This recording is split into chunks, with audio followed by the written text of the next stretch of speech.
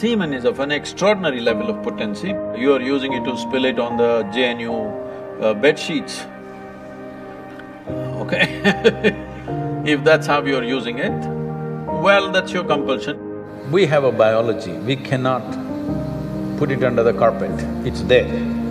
Body has its needs, as it… as there is physical hunger, so there is sexuality, but to what extent is your choice.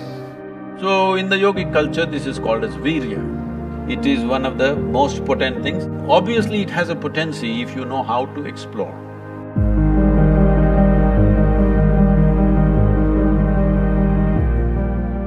Namaskaram Sadhguru.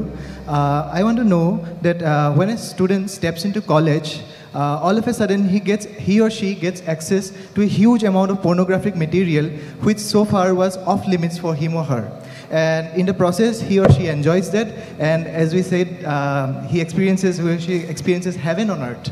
But uh, and we even have nicknames for those people who overdo it. They masturbate. We overdo it sometimes. So how do we know how much of that is good or bad? And uh, so, can we have the truth about masturbation?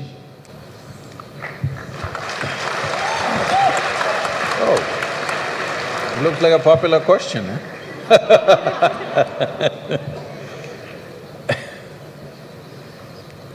See, uh, we have a biology, we cannot put it under the carpet, it's there. It's best we address it for what it is. But right now the problem in the world is because certain religious institutions in the world took this attitude that the very biology of the human being is wrong, because of this, culture started hiding it under the carpet. Well, in this culture we never had it, but after the British came and left, we became more prudish than the British. But before that, if you look at our temples, uh, all the outside temple art is all pornographic, if that's what you want to call it. But we don't call it pornographic, we are only talking about the various dimensions of human biology. Because we don't see it as wrong, but we see it as the periphery of life. If you stay there only, you will stay on the physical dimension forever, you will not explore anything else. So in the temple, always it's the periphery. You are supposed to look at that and understand it's the periphery of life and try to make an attempt to go deeper, but at the same time not to be in denial of it. Not to glorify it or not to be in denial of it is the most important thing. But in your college, watching these things on the whatever, your internet or whatever, people tell me that uh, Somebody told me, I, I don't know if these percentages are correct. When I was asking, what is the content? I was trying to understand the internet and its content, what is the real content on the internet? They're telling me, you should know, they're telling me seventy percent of the content on the internet is pornography. Is it so? Is it so? You must be the expert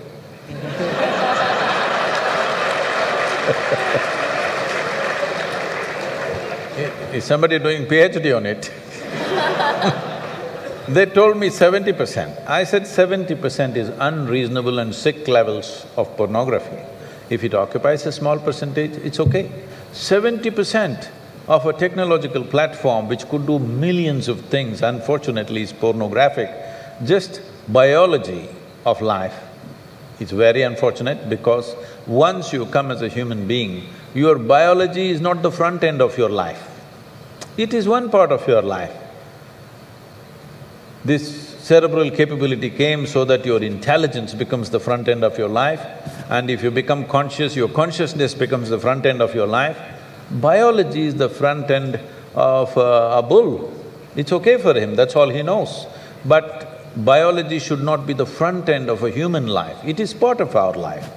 We are not denying it. So, at a certain stage in your life, it's like this. A ninety-five-year-old man went for a medical checkup with his doctor.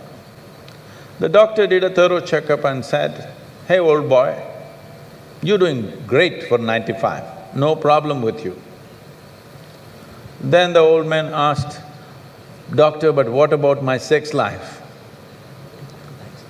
Then the doctor looked at him and asked, thinking about it or talking about it?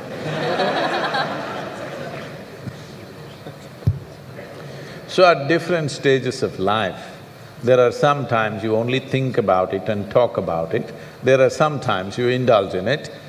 Uh, these are passing phases of life. How much of it is needed for you, you are the best judge. But at the same time, you came here not to explore your biology. At least you should have gone to uh, MSc in biology. You shouldn't be wasting your time in a technological institute exploring biology. Does it mean to say you don't have biology, you don't have biological needs? You have, it's fine, but it must be on the periphery. It should not become the core of your life because it will reduce you in the sense a creature which was purely biological evolved into a place which has an intelligence of its own beyond its biology.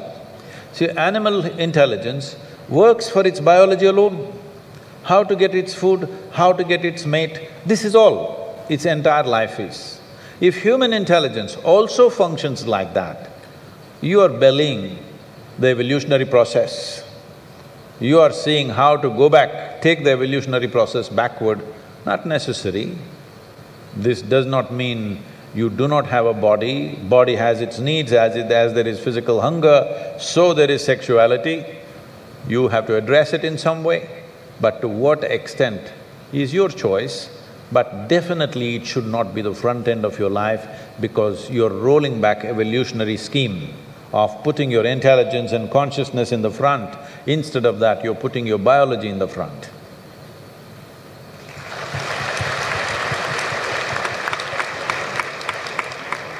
How important is a man's se- semen for physical, mental, and spiritual well being? Can wasting our semen damage us spiritually? Well, you know, uh, semen is the basis of your physical existence, whether you're a man or a woman. You have come into existence because that… that is fifty percent of the ingredient, yes? Well, we have skin, we have epithelial cells, we have hair, we have many other aspects of body, you know, heart, liver, kidney, so many things. All these cells are of a certain potency in their own way. But semen is of an extraordinary level of potency, it can create a whole new life. Well, today you can take an epithelial cell and do a lot of things in a laboratory and maybe we can clone you, all right? So the potential is here also, but it is not in the same dynamics as it is in the a cell, which is… which you're referring to as semen. So in the yogic culture, this is called as virya.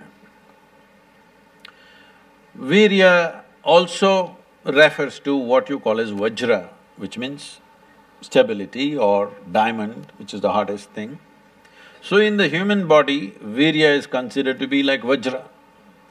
That means it is one of the most potent things if you know how to use it. Well, how to use it means you can use it to produce a child, that's one thing. Well, if you are… Uh, this question is coming because uh, you are using it to spill it on the JNU uh, bed sheets, okay If that's how you're using it, well, that's your compulsion, you're doing whatever you're doing.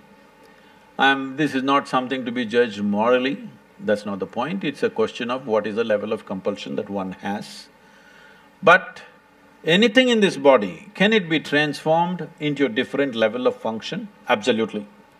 Not just semen, just everything in this body can be transformed. See, suppose I gave you all soup-making ingredients, same soup-making ingredients to every one of you. Do you believe all of you will produce the same soup? No. You will produce five hundred varieties of soups, those same ingredients. That's all that's happened with us right now. All of us are fundamentally same ingredients, but see how different each one of us are. Different soups. Well, if I give you soup-making ingredients, either you can make a great soup or a lousy soup. Depends what kind of skills you have, isn't it? So this goes for everything, not just for semen. Every dimension of your body and your mind, you can transform into, into something tremendous or you can make it mediocre or you can make it a serious problem. Every aspect of your life. That goes for this aspect of life also. This same energy, see, uh, people are making it literal translations, but if you want to produce a certain, let's say epithelial cells, how much energy the body spends on it? And if you want to produce a cell which you call a semen, how much energy body spends is very different. This can be scientifically established. So, when you're investing so much energy in that, obviously it has a potency if you know how to explore. But are you competent to explore? Are you capable of exploring? Do you have the necessary sadhana and guidance to do that? That's a big question mark.